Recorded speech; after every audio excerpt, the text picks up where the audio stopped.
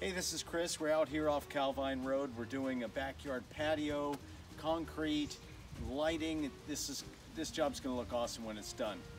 Let's go in the backyard and take a look. So our task on this project is to tear down this play structure. Her grandkids are too old. They don't need it anymore.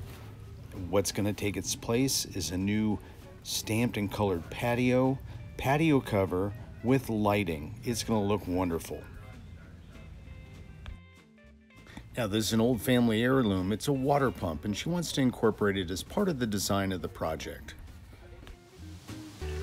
So what we've done here is put footings for each of these posts. The footings go down about two or three feet and take a lot of rebar and concrete. Really important to give these posts a nice home. Footings for these posts are anchored in here before we pour the concrete.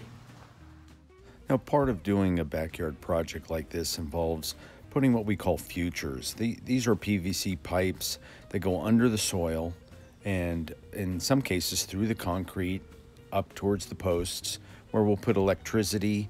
In some cases, we'll use these future pipes as irrigation pipes.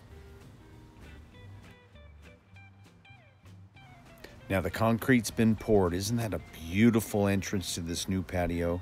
But there's still a lot of work to be done. We got to finish building the patio cover, and then we're going to come back and reseal this concrete.